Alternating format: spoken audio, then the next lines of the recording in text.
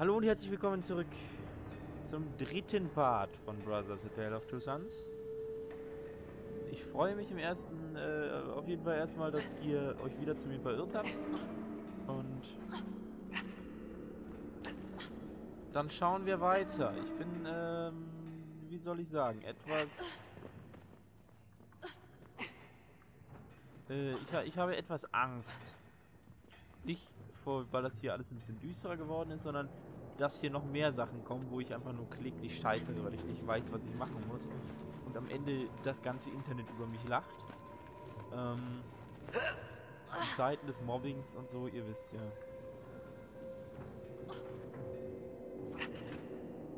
Synchronspringer.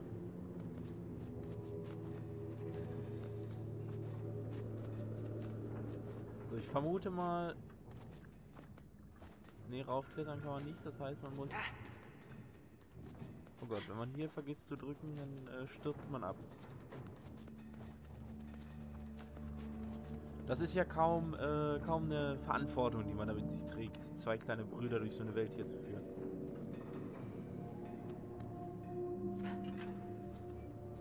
So, hier muss man auch wieder nach oben.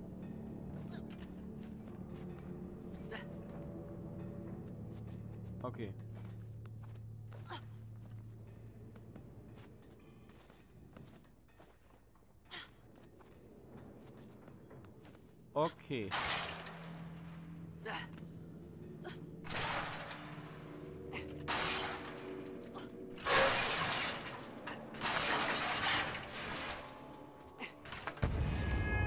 Oh, nee. Konnte er sich da jetzt nicht mehr festhalten oder muss man vielleicht erst mit dem Großen springen oder oder wie oder was? Ich bin mir ziemlich sicher, dass ich äh, rechtzeitig gedrückt habe. Aber Vielleicht lag es ja auch wirklich einfach nur daran, dass ich ein bisschen zu spät, ein bisschen zu früh gedrückt habe.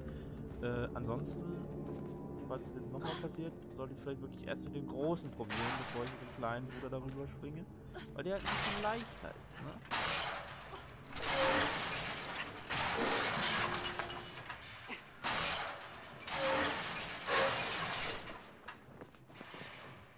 Okay.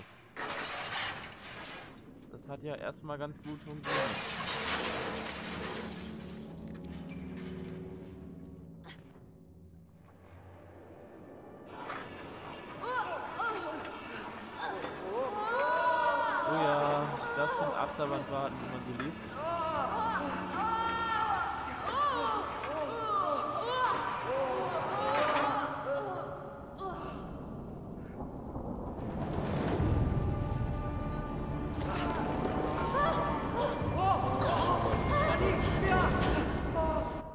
Zu spät losgelaufen? Muss man da gleich... Ich dachte, ich warte erst ein bisschen auf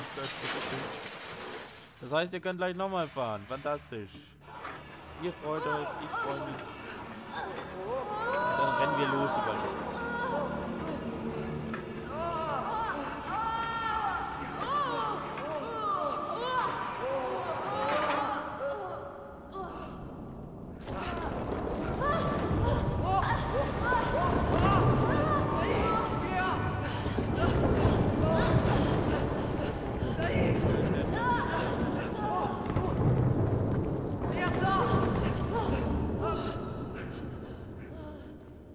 Ach du Gott.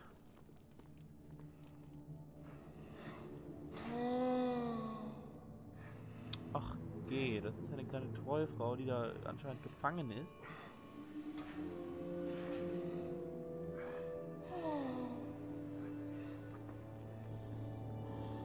Und das ist der Wächter und der hat den Schlüssel.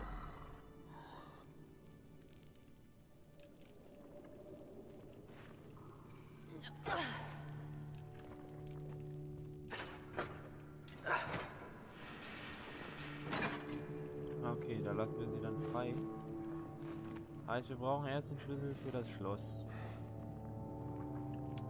Ich hoffe, dass es so einfach geht. Wir, sollen bestimmt, wir dürfen bestimmt nicht auf die...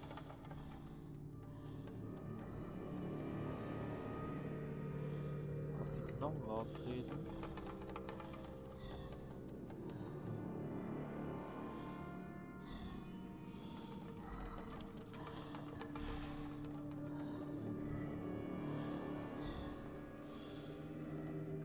Gott.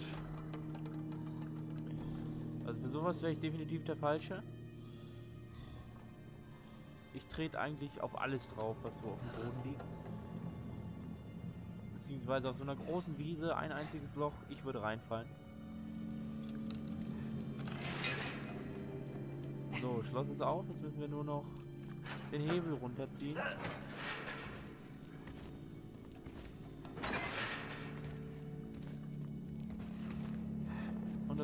Trollmädchen ist draußen.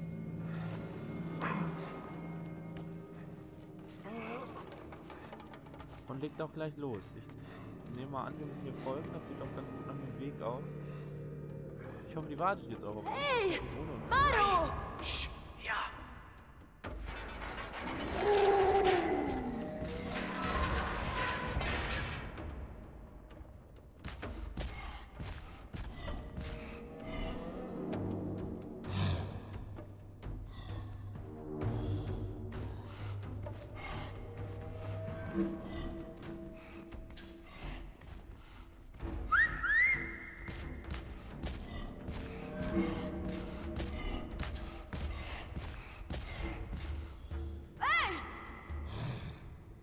ja. Ist halt. Hey!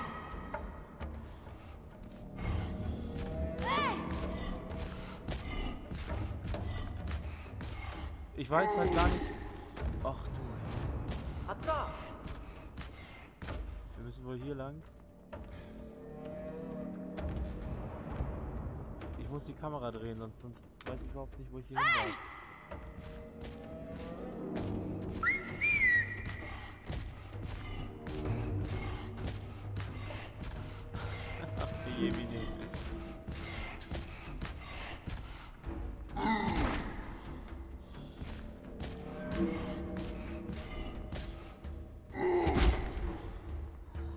Ich habe Angst, ich weiß nicht, was ich machen muss. Kann der vielleicht das Tor hier aufmachen? Nee, anscheinend nicht. Ach du Gott, was müssen wir denn nur machen?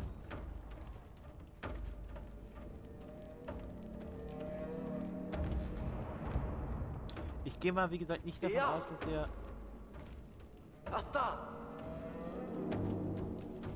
Dass der, äh,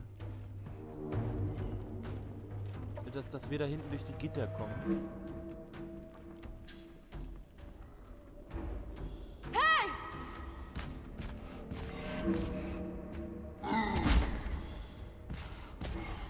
Folge weiß ich auch nicht, wo wir lang müssen.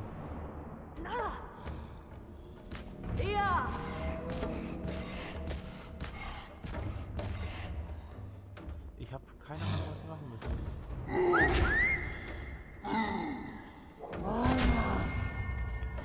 Ähm, verzeiht es mir, aber ich habe ähm, nicht den blassesten Schimmer. Ich äh, habe Vermutungen, aber so wirklich wissen, wo ich lang muss oder ähnliches.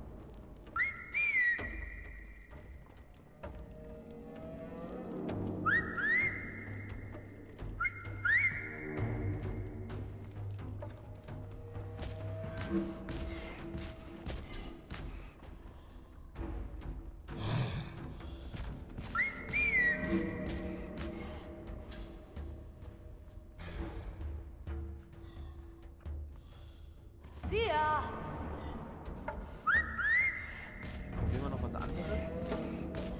Wenn der von gerade darauf zuläuft. Aber. Müssen wir den vielleicht im Käfig einsperren? Das ist ein Plan, oder? Ich glaube, das könnte klappen.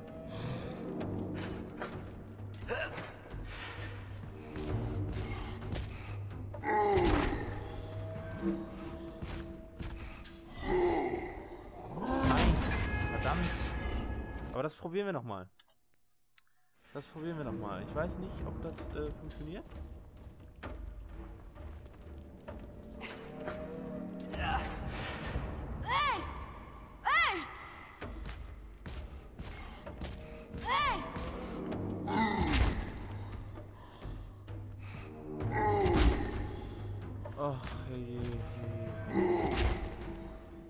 Schlägt alles kaputt. Ich weiß nicht, was ich machen soll. Das wird ja ein erfolgreicher Part werden, Leute.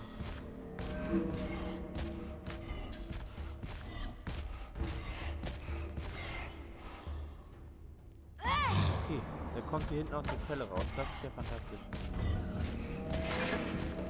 Was? Oh, das gibt's doch nicht. Ein bisschen länger warten, ansonsten.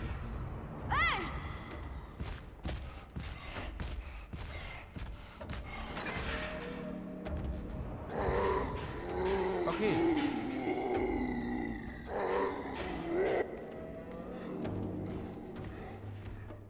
Jetzt traut sie sich auch wieder ran. Und hilft uns jetzt auch. Na, fantastisch.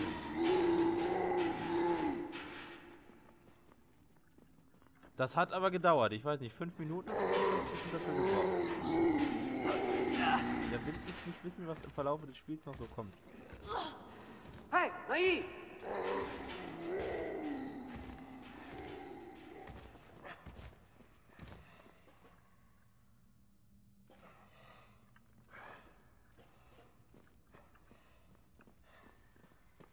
Okay.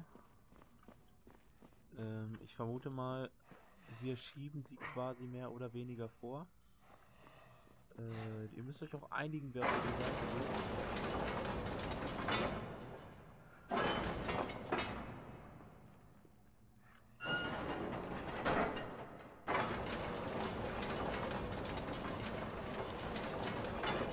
Vor. Drehen. Weiter.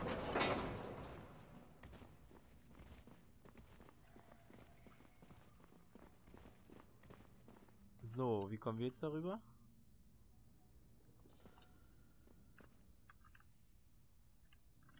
Da! Da kommen wir rüber. Ah, ich glaube, ich weiß es. Ich glaube, ich weiß es. Ähm, jetzt macht das Ganze auch Sinn. Passt mal auf.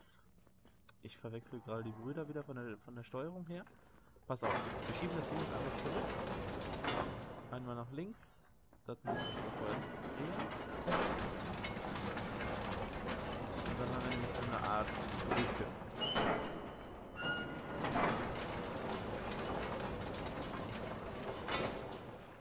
Wo wir rüber hüpfen können.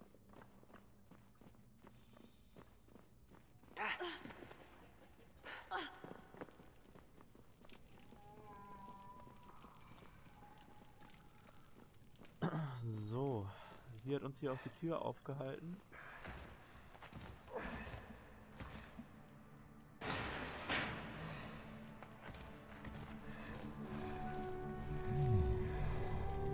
Ach, guck an, das ist seine Freundin.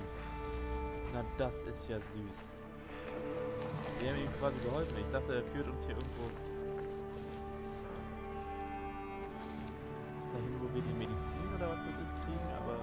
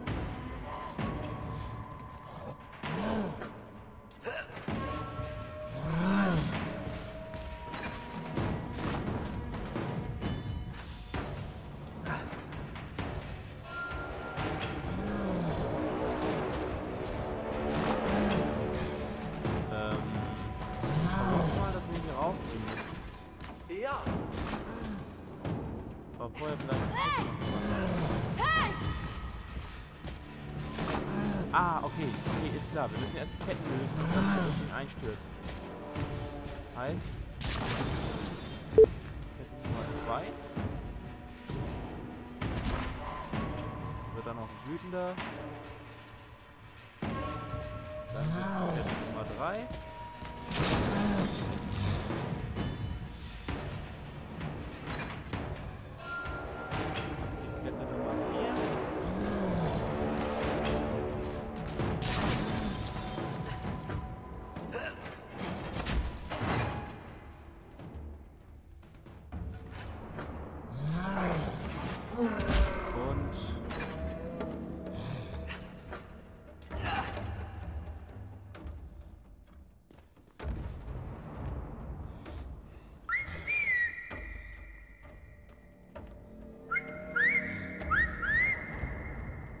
Sonst noch machen?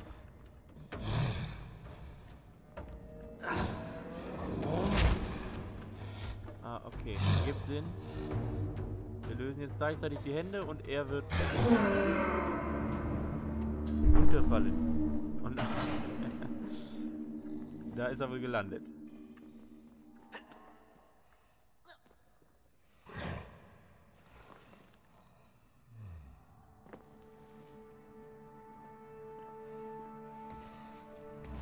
Fantastisch. Am Ende haben wir es, und Händchen halten in den Sonnenuntergang. Am Ende haben wir es dann doch geschafft. Es war äh, ein bisschen, ja, mit ein paar Problemen und Anstrengungen verbunden. Aber wir haben es Bishoya! sind aus dieser Höhle raus, haben seine Freundin, seine Frau, wie auch immer, gerettet.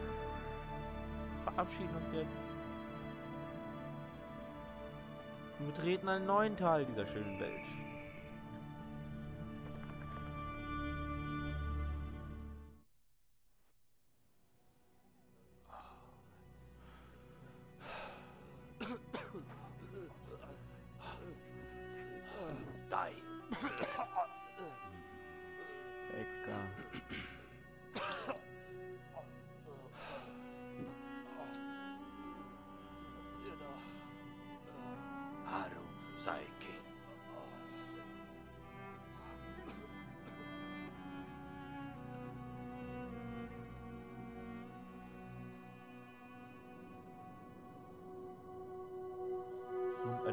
Sternenhimmel. Ich sag's nur immer wieder. Ihr seht die Konsequenzen.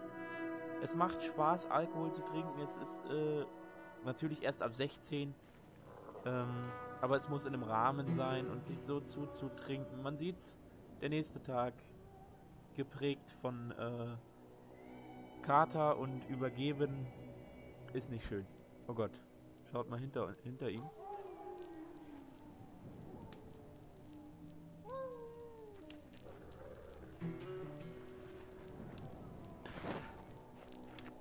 Sind Wölfe. Nein. Er nennt sich eine Fackel. Wir müssen doch jetzt wohl nicht gegen diese Wölfe kämpfen, oder was?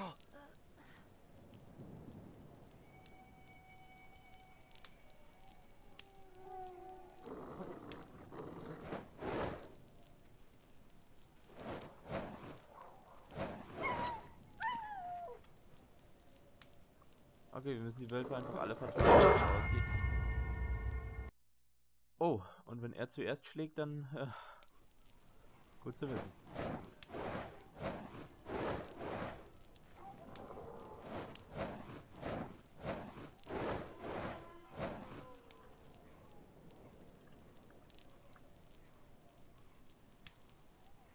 Kann er sich auch eine Fackel nehmen? Nee.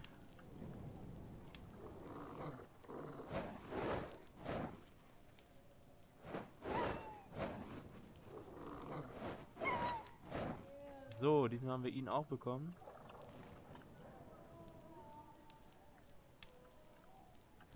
Gucken noch mehr. Okay, also der Kleine muss auf jeden Fall bei mir bleiben, bei dem großen Bruder.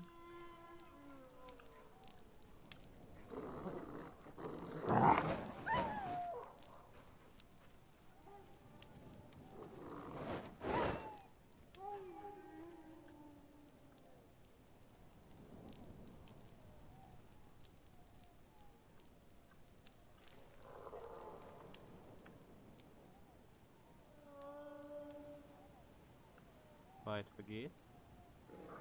Hier habe ich auch noch ein paar Augen leuchten sehen.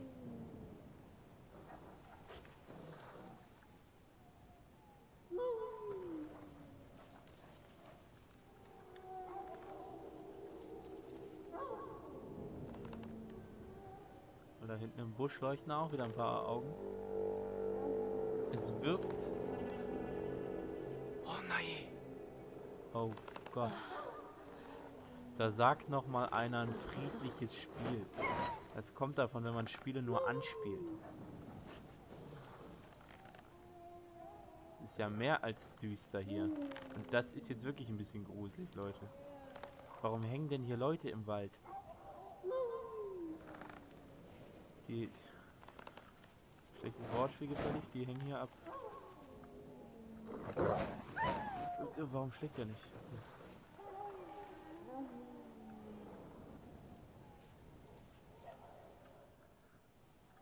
Oh, oh, oh.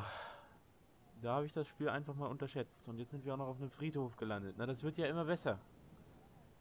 Das wird ja immer besser. Atta! Warte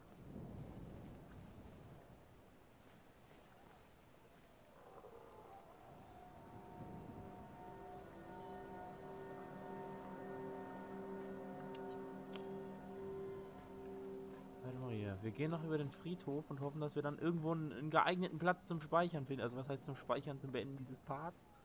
Ähm, Atta!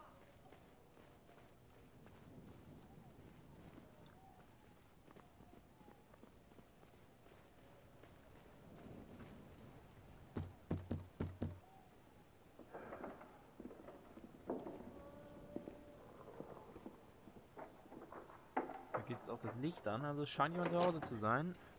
Hoffentlich ist er uns gut gesinnt. Der Friedhofswächter, wie es aussieht. When hadi Ari? Atta Mafi. Ihr habt's gehört. Atamafi.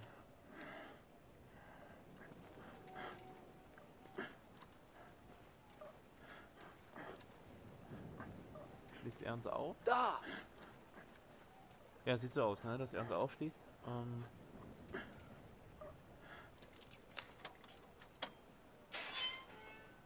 ja, vielen lieben Dank. Da Tai. Und dann geht's für uns auch weiter. Nai! Atalia! Nai!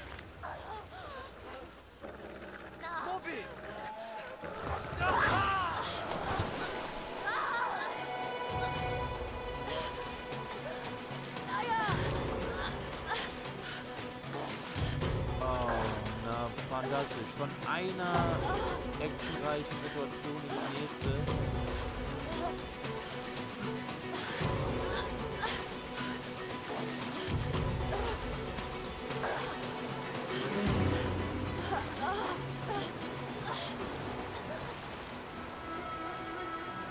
Aber das ist ja nochmal gut gegangen.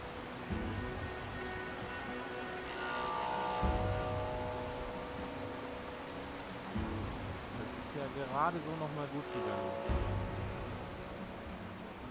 Also ihr merkt, das Spiel wird anscheinend, äh, es bleibt nicht einfach so ein bisschen durch die Gegend rennen, ein bisschen klettern und das war's dann.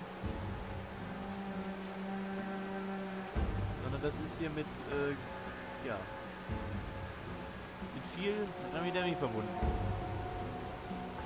So, dreh dich mal um, kleiner Mann. Leute, das war's für den dritten Part. Dieser Part mal ein bisschen actionreicher, ein bisschen mehr Krawall und Hau drauf Stimmung. Ähm, erst durch die Mine gegen Trolle gekämpft, dann von Wölfen verfolgt und dann auch noch fast in einen Wasserfall geraten. Ähm, mir hat es wahnsinnig viel Spaß gemacht. Ich hoffe, es hat euch gefallen. Lasst mir einen Daumen nach oben da. Das wäre fantastisch. Und schaut auch beim nächsten Mal wieder rein. Ciao.